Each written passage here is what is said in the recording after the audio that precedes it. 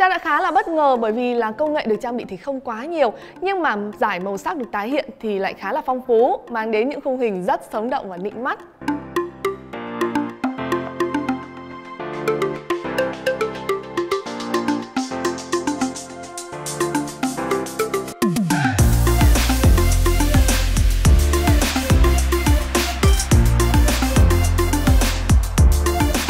Nếu như các bạn đang muốn tìm mua một chiếc TV và điều các bạn quan tâm nhất đó chính là màu sắc hiển thị của nó liệu rằng có đậm đà, có đã mắt hay không ấy thì người bạn trong video ngày hôm nay của Trang sẽ đáp ứng được nhu cầu đó với một mức giá rất dễ chịu.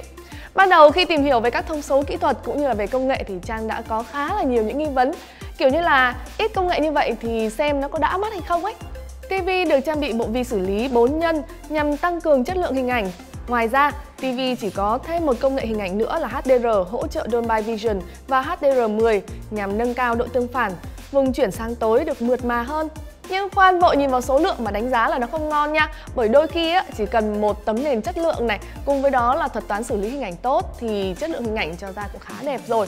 Và với chiếc TV đến từ Sharp này Thì hình ảnh hiển thị tổng thể là khá tốt. Và Trang sẽ đánh giá dựa trên bốn yếu tố mà Trang luôn coi là thước đo để đánh giá cho khả năng hiển thị của một chiếc TV Đó là độ nét, độ sáng, độ tương phản và màu sắc.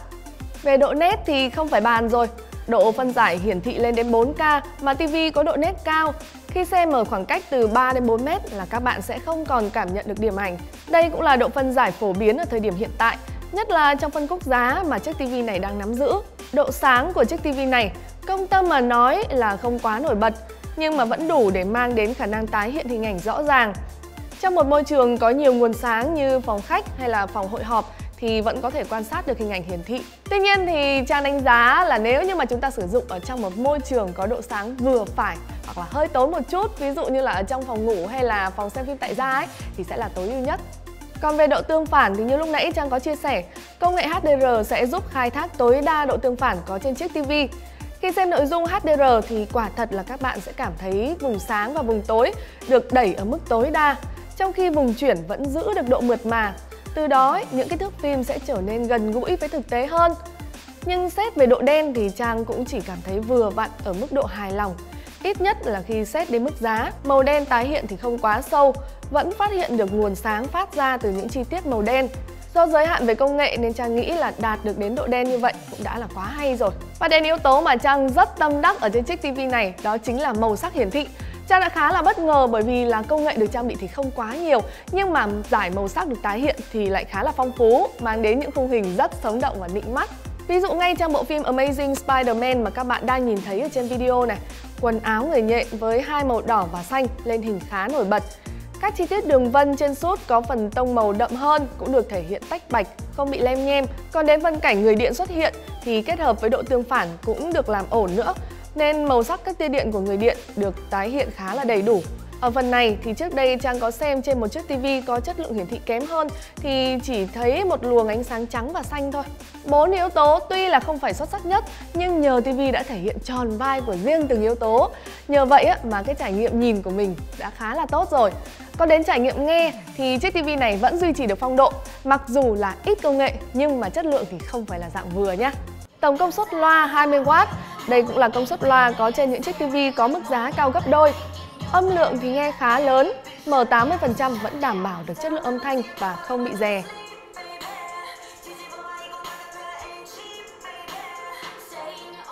Công nghệ được trang bị đó là Dolby Atmos giúp thể hiện âm thanh vòm Tuy nhiên với tầm giá này cùng với cái loa của chiếc tivi này thì các bạn cũng đừng vội kỳ vọng quá nhiều vào âm thanh vòm ha. Kể cả ngay trên những chiếc tivi có mức giá cao hơn cũng vậy thôi. Nhưng mà điều mà chúng ta quan tâm nhất ấy đó chính là chất lượng âm thanh.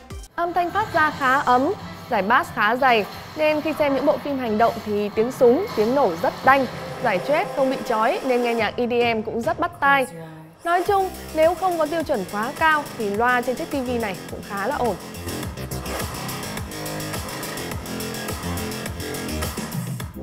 Xong trải nghiệm nghe nhìn. Và bây giờ sẽ đến một yếu tố không kém phần quan trọng ở trên một chiếc TV thông minh. Đó chính là những tính năng tiện ích được hỗ trợ. Ngày nay thì TV không chỉ dùng để xem mà nó còn phải hiện đại nữa. Ví dụ như là chúng ta có thể điều khiển và ra lệnh bằng giọng nói tiếng Việt này Hỏi thời tiết này, hỏi giờ này, ví dụ nhé Mấy giờ rồi?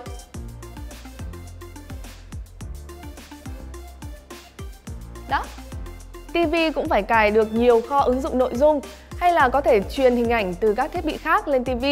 À mà chiếc TV này á, chỉ hỗ trợ Chromecast thôi nên không có AirPlay 2 hay là Screen Mirroring. À mà nãy giờ á, chúng ta nói đủ thứ hết nhưng mà lại chưa kể đến cái phần thiết kế. Ngoại hình của chiếc TV bây giờ á, thì đều rất sang trọng dù là ở trong cái tầm giá nào. Viền màn hình khá mỏng, không chỉ có giá trị thẩm mỹ mà còn giúp tập trung hơn khi xem TV. Chân đế cũng là một chi tiết khá đặc biệt. Không có quá nhiều hãng hiện nay dùng kim loại làm chân đế mà còn cảm giác rất đặc nữa. Không chỉ bền chắc mà còn giúp tăng độ cao cấp cho TV. Cổng kết nối cũng khá là đầy đủ nữa. Vậy thì chiếc TV này của Sharp sẽ dành cho những ai? Với mức giá dễ tiếp cận, đồng thời vẫn mang đến trải nghiệm nghe nhìn khá là trọn vẹn thì chiếc TV này sẽ rất phù hợp cho những gia đình nào chúng ta mong muốn sở hữu một chiếc TV chất lượng nhưng mà phải tối ưu nhất về kinh tế và nó sẽ rất là phù hợp nhất là trong cái giai đoạn kinh tế khó khăn hiện nay ha.